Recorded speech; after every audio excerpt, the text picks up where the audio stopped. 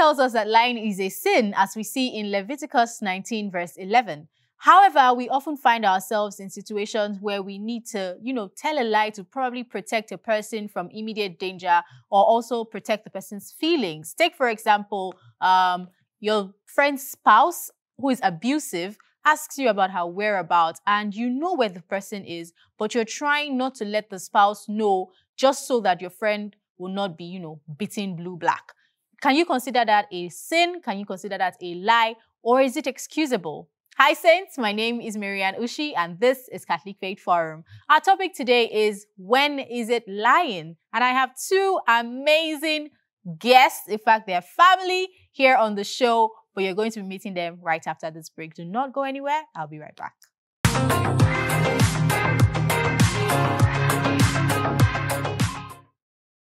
Welcome back, Saints. This is Catholic Faith Forum, and I am Mary Ann Ushi. Yes, our topic today is when is it lying? And I have two amazing guests here with me in the studio. First of all, I have a guest whose seat I have now taken. Yes. Nonso Igwe is here. Nice to meet you once Nice again. Nice to meet you too. Yes, you're back on CFF. How do you feel? I feel very, very, very. No, I have to like very, very, very, very 10 Mhm. times. Very good. Okay. It's not even true. All right. Actually. I also have with me Father Jude Mary Owo, popularly known as Friar Jay, Yep. who happens to be the director of Dominican Media. It's Ah, good to be Padre. here. It's good to be here. I didn't know I was going to be on this season, but hey, we are here now. I mean, I didn't even know how much I missed this until I'm here, and it feels like oh, it's bringing so, So much. much memories, memories Aw. back. It's good to have you. It's good to have you. So, now, so what have you been up to? Hmm, I've been up to life. I've been up to life. Good actually. life. Good life. Good Life life. has good been life. life in her. Thank you, Father. Father knows about these things. life has been life, Life in me. I've been working and all of that. So Mm. yeah, life. Okay, but you look good though. Ah, um, is this what I'm going to be looking like when I leave here? Ah, oh, I can't wait. blessings will started, you. oh. You know? And you have work to do. started. You look good. But it's- Padre, how you doing? I'm doing well. I'm doing good. I'm fine. It's been it's a good time. So thank God. It's a good time. Yes, sir. All right, let's have a good time. So our topic today is when is it lying? Hmm. Lying, lying, Hmm. lying. Let's begin with the basics. What is a lie?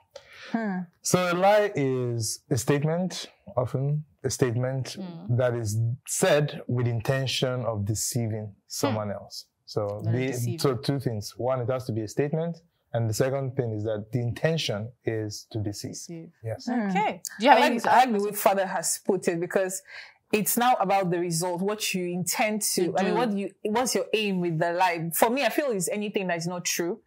Once I can pinpoint and say that this is not a fact, then it's a lie. So Hmm. whether whether or not you're trying to deceive a person or not, as far as you're not saying the truth, Truth. it's a lie. Okay, okay. Ah, see, perspectives. That's good. All right. So, um, can people lie unintentionally? Like you just said now, maybe you're just not saying the truth. You know, what ways can people lie unintentionally? Mm, like I said, the idea is that you have to be making a statement. Yes, Okay. And then secondly, it's directed at somebody else. So why are you saying what you're saying? That's what I always ask myself. Mhm. Are you just speaking to fill in blank spaces? Mm. Or are you speaking because you want to communicate something to the other person? Yes. Now, what is the content of your communication? Um, and if you are not sure of what you are saying, why Mm. say it? So it's better to be quiet and not find any fault or not create any problems than say, because I want to speak. And then you say something that you're not even sure, Sure. of. So that already creates a problem. I feel, yeah, I feel like you can also lie unintentionally, just like you asked, because, for instance, someone asks you a question, "Oh, Mary-Ann, did you go here?" And the first thought that comes to mind is, "No, I didn't go." And maybe you went, went there. there. and before you're able to correct, the person already picks that as, as a truth. Yeah. that's for me, that's lying. already a problem because why would you want to say something without even processing it? No, you don't want to say it. It just comes out. It just comes out. You don't have you don't have control of your mouth. No, that's that's for me. That's already a You know, father, father is a very, I mean, very, you know, strict, No, it's not about strict. It's it's about all the fact about that process and all no, of for me, the thing is, you have a brain Ah, Okay. where everything is processed. Mm. Then whatever message you've processed, your lips now convey it. There should be a a bridge, or at least some kind of process of Mm. this thought descending from your mind to your lips. Mm. You don't just yeah. things don't just flow like that. So You have basically, you're saying there's no excuse for pathological liars. Well, uh-huh. we'll get to them. Their own case is a case. Yeah, It's those a one is like in their uh-huh. DNA. And there's like a problem it's part with them. them. When you say someone is a pathological liar, the mm. person has already created a character mm. or a pattern of behavior that now makes it almost like an involuntary action. I don't know when I said it, or I just said it, and now, now I'm not thinking about. Mm. No, that's the point. There's already a problem there. So I always tell people, watch your behavior because before long it becomes your character. Mm-hmm. Okay. So pathology, like when pathological pathology, like Yeah. biology, is part of you already. It's your nature. it's inside. It's inside. It's ingrained, inborn. But Hmm. but if if you're hmm. pathological, hmm. if you are a pathological liar, mm-hmm. and let's say you lie about even maybe things that I would say are inconsequential, like for example, now my sister sometimes you just come into the house and she can say, ah, there's um shawarma for you in the microwave, and there's nothing there. Okay. You now go there and come and she's like, sorry, I just felt like you know. Would Just- you would you say that that's a is it, is it a sin is it a bad thing or Well- maybe there, is there something like lying for fun? Yeah, I wouldn't say lying for fun. I think it's clearly a prank. Mm. They can just come out and tell you that oh, there was nothing there, and but it's like Father said at the, at the very beginning. If you're trying to deceive somebody, Somebody. like tell somebody, oh, this thing is there, and you stand. Have you met liars? They will stand by it, like they will lie and they won't the end. flinch. She's like, I I've am met, there. people, I've met people like that. Yeah, and I they think I will- met somebody in secondary school, and I was, and I think that was that was the point when I started thinking twice about human beings. Mm-hmm. You know, this guy would lie about everything, and being who I was, I, I was never used to people telling lies. I never, I was never used to people giving you a straight face lie. As soon as you say something, they have a story. They have a whole story Exactly. that they can spin out of that. That is not true. No shred of truth in it. And for me, that it kind of it shaped me in a way that was not so. I would say not so good because now when somebody says something, I have to really, really think, about it and then about ask it. the person. Are you sure what you're telling me is true? Because if I take it as true and then find out that it's not true, we're going to have a big problem. okay. Uh, so So that, that brings me to my careful. next question. Are there behavioral patterns for liars, or is it that, you know, you really are there, is there a way to detect when a person is lying? But hang on there, we're not going to answer that now. After this break, you'll be answering that. It's time for us to find out who our saint of the week is. Do not go anywhere. We'll be right back.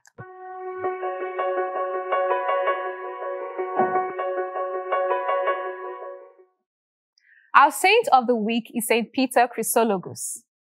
Saint Peter Chrysologus was born at Imola, Italy, in 380. He was an adult convert to Christianity. After his theology studies, he was ordained a deacon and later a priest by Cornelius, the bishop of Imola. Peter so much admired the life and teachings of Cornelius that he was inspired to live as a monk for many years, embracing the lifestyle of simplicity, self discipline, and prayer. However, his monastic life came to an end after the death of Archbishop John of Ravenna in 430. After John's death, Peter was raised to the office of bishop by Pope Sixtus III. In Ravenna, Peter was warmly received by the then Western Emperor Valentinian III and his mother Galla Placidia. She was said to have later given him the title Chrysologus, meaning golden tongued, because of his preaching skills. Many people were still practicing paganism in Ravenna when he began his work there, and this caused other Christians to fall away from the faith. He reformed and solidified the church there with his preaching and by encouraging frequent reception of communion. Many of his homilies are still intact. Most are brief because he did not want to exhaust the attention of his listeners. Anyone who wishes to frolic with the devil cannot rejoice with Christ, he told his people. He combated monophysitism, one of the most pervasive heresies of his day, spread by the heretic Eutyches. It held that Christ did not possess a distinct human nature in union with his eternal divine nature. He also counseled Eutyches, who had asked for his support, to avoid causing division, but to learn from other heretics who were crushed when they hurled themselves against the rock of Peter. During his time as an archbishop, he built new churches, improved the city's cathedral, and contributed to ending monophysitism. In anticipation of his death, Peter Chrysologus later returned to Imola and died in the year 450. And in 1729, he was made a doctor of the church, largely as a result of his simple, practical, and clear sermons, which have come down to us, nearly all dealing with gospel subjects. His feast day is celebrated on July 30th. Saint Peter Chrysologus, pray for us. Welcome back, Saints. I hope you emulate the life of the saint. All right. So before the break, I asked if there are behavioral patterns to, you know, detecting when a person is lying. Yeah.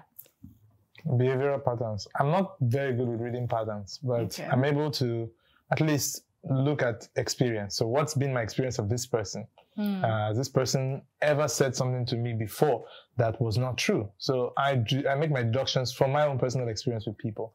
And the first thing is to say, okay, what has been my experience with this person? Has this person ever lied to me? What was their reaction when I confronted them yeah. with the truth? Hmm. Okay. And the person is just complacent. The person smiled at the person laughed and I said, I just I was just playing with you, Joe. Mm-hmm. And so all of those things, I try not, not to being careful. no, of course. So I usually don't just make one blanket statement about people. I don't just conclude that because somebody lied to me for the person's a liar. No. Mm-hmm. I want to know what was that person's reaction when I confronted them okay. with that behavior. That's what will now make you decide. No, I now decide to say, okay, it's like this this is this person's destiny. Because the person chosen that. Let them just stay. So for me, I always like think think about it like this. How come you never teach children to lie? Mm. Mm. So lying is one thing that you cannot call each other and say, "Oh, say this." Mm. Although, I mean, there are cases where people can do that, and then the child falls down. okay, go and tell him I'm not wrong. My daddy said I should tell you that. Yeah, and they still go and tell the truth. But when you say child that lies, yeah, nobody teaches them. They just start lying. Just say, "Oh, did you take this?" No, I didn't. And you see their mouth full of chocolate. Did you eat the chocolate? no, I didn't eat it. Oh, were you doing this? No, I wasn't doing this. But they're lying. So that's how how, for me, I feel like I look at everybody like that. If you tell me something and I find it hard to believe, yeah. I'm a very intu- intuitive person. So I trust my own intuitions. Yeah. Once I can glean or I can just feel in my mind that, oh, this person is lying, I'll just know that you are lying. And another thing is, don't be this person's mother. Child. okay, child, you're gone. another thing is, I think that most liars always exaggerate. Mm, it's true. Mm. Exaggerate with their with their emotions. Sure with their reactions, yes. the way they react to things, they always yeah. go overboard. You see a guy who wants to, who is a terrible person, you mm. get, and then he he's lying. You would know. Nobody wants to cry, to kneel on the ground, to roll on the floor. and they're always doing it, still do overdoing each other. Thank you. They'll still do those things that they that they ordinarily say they won't do. Even mm. for I have like some cousins of mine too that do things like that. And did you do this? No, I didn't. Don't cry. You don't. Do one time, one of them stressed my life. I, I, was just looking for something, and I just knew that this guy is lying, and he was lying. So I think they always exaggerate. Yeah. Like father said, they have some mannerisms. Yeah. There's way they behave, yeah. and they may just laugh it off, like make it look like a joke when, whereas it's like a real thing or something that is serious. So. I think these are things that we can actually po- um, pinpoint and, and then say that this is yeah. this person is lying. Okay, so um, is there a difference now between hiding the truth and telling a lie? Mm. Dicey. Yes, the there question is. is um, when you say hiding the truth, what do you mean by hiding the truth? So, like I started with the show with a um a scenario. Okay. Yes. Uh-huh. Mm-hmm. So your friend's abusive spouse says, oh, where is she? And then you know that the person is probably in your house okay. hiding from the spouse. Okay. Now you're hiding the truth. Okay. You decide that, oh, I'm not going to tell you. Okay. Or... okay. So what I, the way I try to say that without making the person who is protecting the truth mm. look as if they've done something wrong is to say that this person who is demanding the truth does not deserve the, the truth. truth. Mm. Mm. So, but if you look at it from the point of view of the person who is trying to do a good, which is in this case presenting somebody who would otherwise be harmed yeah. because of what this other person is going to do.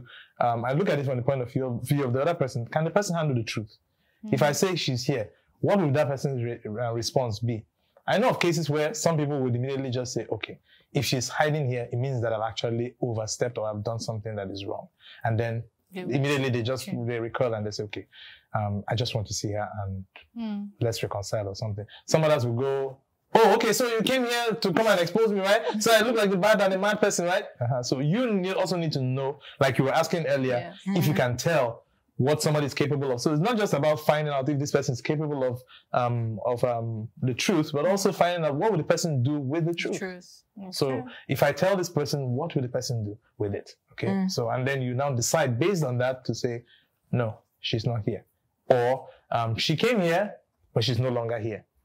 Something like that, whatever it is. Wouldn't that be a lie? Like actual lie, It lie, is. lie. it is because, like I said, the question is, can the person handle the truth? The person Okay, cannot cannot handle the truth. truth. Okay. For me, I think the, the, that question is very interesting. I, I kind of want to look at it like in different ways. Okay. Imagine someone asking you, maybe you went to the to the movies and you came back late. I do that a lot. I go go out, come back late. My dad asked me, "Where did you go to?" "Oh, I went downstairs. I'm not lying. It's downstairs. no, but you, well, I think I think naturally, I think women are actually built to not lie, but also Not not, tell, tell you the truth. truth. I'm not lying. I actually went, Went down- I was not downstairs? I went downstairs. I went out. So I half half truths. So, Yes, another oh, I, another way I also want to look at it. Imagine when um Pilate had asked Jesus, Hmm. um, "Are you the King of the Jews?" Or people have said that you said it a lot of times. Are you the King of Jews? Jesus did not say yes or no. no, Remember, it he is you just said it. it, it was you who said it. So anything you say, that's it. so that's one way to look at it. Like it's not actually a sin when you don't tell, Tell the, the complete truth, Mm. but not when you when you're. As far as you're not lying. like I said, the idea is what is the intention? Are you doing it with intention of deceiving? So, but, Well, I but still- no, deceive that you that you say are you doing it with the intention of deceiving does not necessarily mean that every time you deceive a person is bad. Okay, of course, we already established that when I mentioned if the person is It's going to cause you uh, harm. what, what, Yeah. is that? what, Exactly. whether the person can handle the truth. Yeah. But then when my instinct is to create some kind of confusion, then there's going to be a problem. I think the idea should always be um, tell the truth. Tell the truth. Almost, I mean, always at least. Tell the truth, or let the intention always be to tell the truth, True. unless where something else really, really demands something other than the truth. Yeah. So in that situation where you went to the the movies, habit. tell the truth. You went to so the intention should always be to tell the truth. Oh my but um, when you were talking, I was going to even back up when you mentioned the idea of children not being able, cap- being incapable of lying. I think lies, the origin of lie is fear. Yeah. Hmm. What would this person do, Do if I tell the person the truth? Okay, but before long, you may now become a pathological liar Liar. because you always want to find the easy way out of the situation. Uh, lying do not lying is not always the easy way out. It looks like the easy way out. Mm. But it's not always the easy way out because what if that person finds out eventually? What do you think will become of you as a person? What will be what will be the state of your reputation with that person? What would also be um, the person's relation, the nature of your relationship with that person afterwards? Will I be able to trust you? Will I be able to say, okay, um, you, I know why you did why, what you did, okay? Or will I say, I don't think I can ever trust you again with anything? Okay, so I think it's safe to say do not lie except when necessary. Yes. Let it be that you have a reputation of telling the truth. Okay. At least, well, first of all, have a reputation of telling, of telling the the truth. Mhm. Yes. Not like somebody will just say, "Oh, you do know that that one." There's already a problem. Okay. I mean, there's already, there's already a problem. I get But if, so, but let it be the case that when I say, "Do you know what Mary-Ann did the other day?" She, no, there must be a reason why she Why did that. it. Let that Okay, case. Padre, I know if we keep going on and on and on, we're not going to realize that time is actually flying, like it's really flying. All right, guys, it's time for us to meet our KYF crew for the Know Your Faith session. Do not go anywhere. I'll be right back.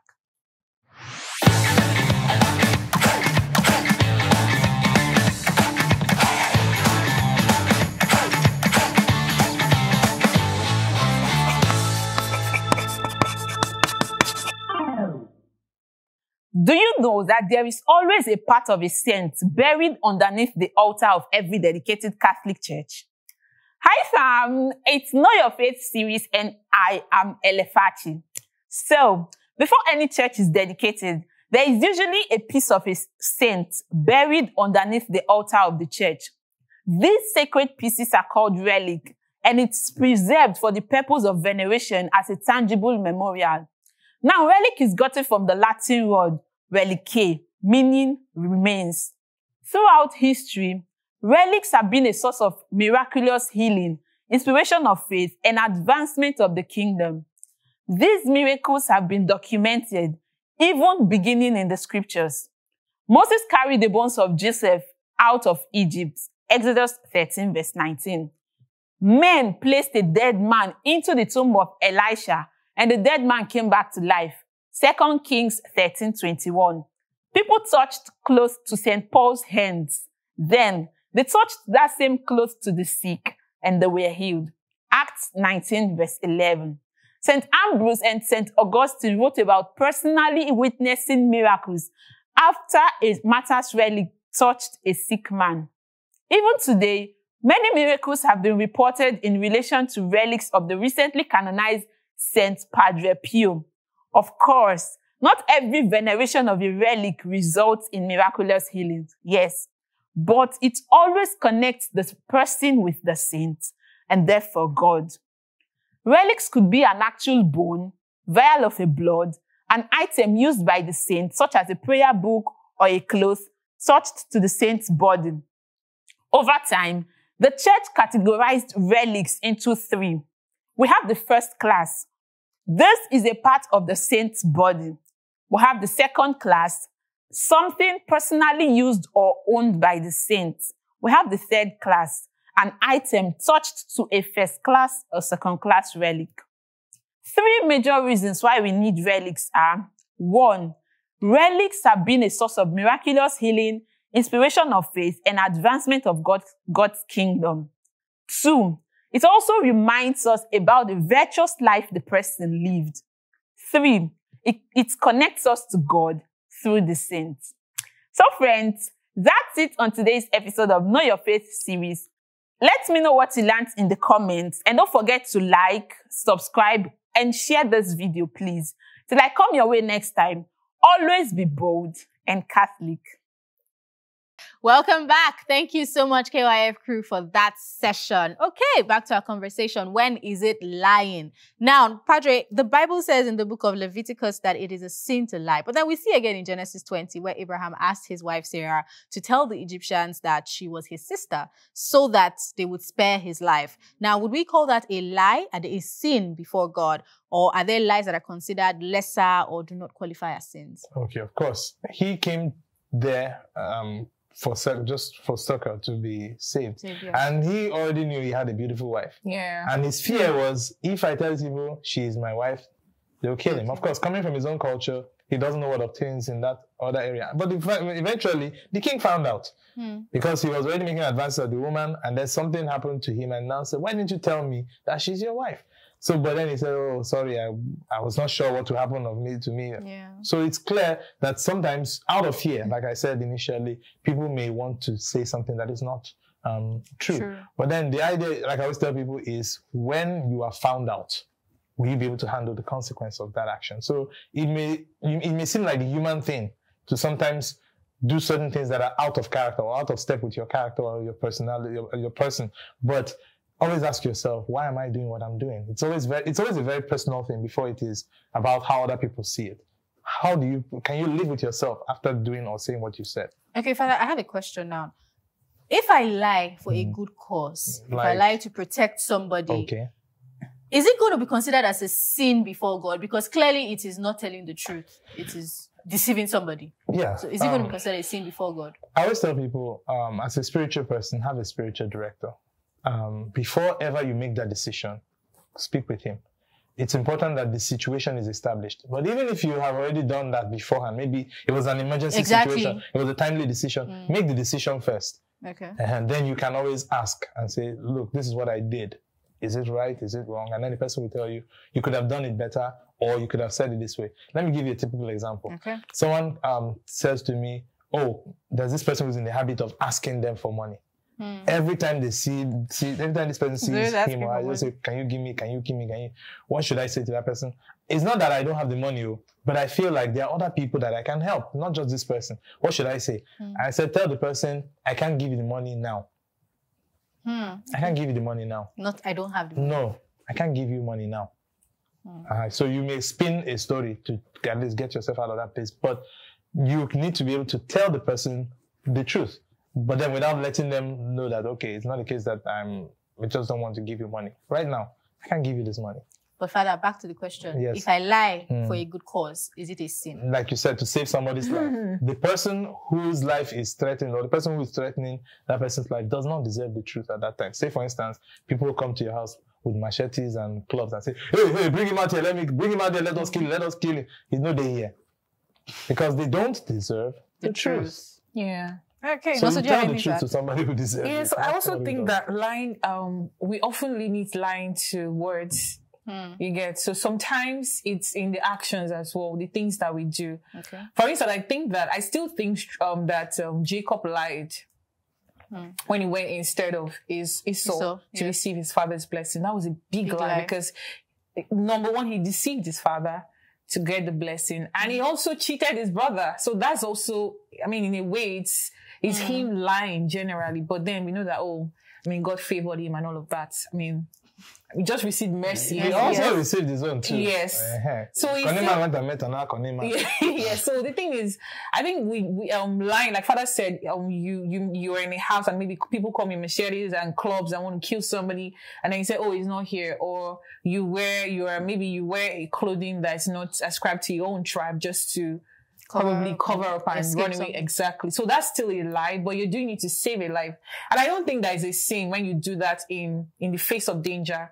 You get just like people who who are Muslim and or who people who are Christian and they say they are Muslim. Me, I still. I mean, I don't know what I'm gonna do in that kind of situation. I mm. wouldn't. I, The I wouldn't is say. never pray in that, pray never to be in that kind of I, situation. I wouldn't know what to do or, or to consider that. Oh, probably they lied or anything. Yeah. But then, like you said, a lie is a lie. And Father said that, that we should- there's always a better way of, doing, things. So can we say it's okay to lie to protect a person?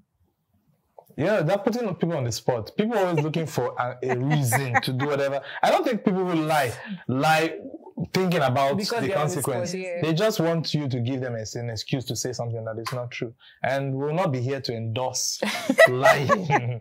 Okay, finally, should a person keep the truth away from someone they love? Say a spouse, your fiance, Mm. your parents, your children. Say, for instance, there's something about your past that you feel like if your spouse should know this, it's probably going to hurt them or, you know, it's going to break the relationship. Do you think that people should keep things away from their loved ones?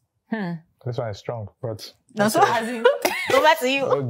Oh, giddy go. but but for me, I feel like like Father has said um, Yeah. from the onset or from the outset rather um, that um, it depends on how the person is able to handle the truth. You get so I wouldn't like I would obviously already know how this person takes conversations or takes um I mean our conversations the words to know how it affects him or her Yeah. before I choose to keep my truth. So it's not me lying, I'm keeping my truth. You understand? So it's not like I'm lying to you. I just choose not to divulge the truth to you. when when it's a relationship between two people, I always tell people, um, know the person you're with. Yeah. and then also know what you want from that relationship. If this relationship is supposed to get into become marriage, mm-hmm. and there are certain things that you know, like this person finds out, it will be a deal breaker for them. Don't enter into the relationship keeping that to yourself because it's no longer about you. It's about the two of you. So if there is an information that the other person needs to know, please let them know so that they can make the, they can make a better decision because those things can invalidate a marriage if it becomes marriage. And there are some other things that are useless information. You want to hmm. call them useless information in a relationship. How many boyfriends did you have before we met? That's a useless information. Or how many times did you sleep with this other person? That's a useless information. So, Yeah. but there are some other information that the person needs to know. If so that the person says, "Oh, this for me is a, A deal deal breaker,", breaker. then let them know. If they if they're not comfortable with it, then you move on with your life. Yeah. Thank you so much, Padre and welcome. Nonso, for coming on the show and sharing with us. I definitely had an amazing time with I you I did guys. too. All right, guys, there you have it. It is not a good thing to tell lies. God frowns at lies, but it's also important that we judge situations and know when to avoid saying certain things. Just ask God for the spirit of discernment and you will be all right. It's going to be well with you. Okay, that's our show for today. Don't forget to share this video with your friends and family. Subscribe to our YouTube channel at Dominican Media Presents. Turn on post notifications so that you are alerted when the next video drops. And also follow us on social media at CFF on TV. I am Mary-Ann Ushi, and until next time, keep, being saints in jeans and shirts. Bye. Bye.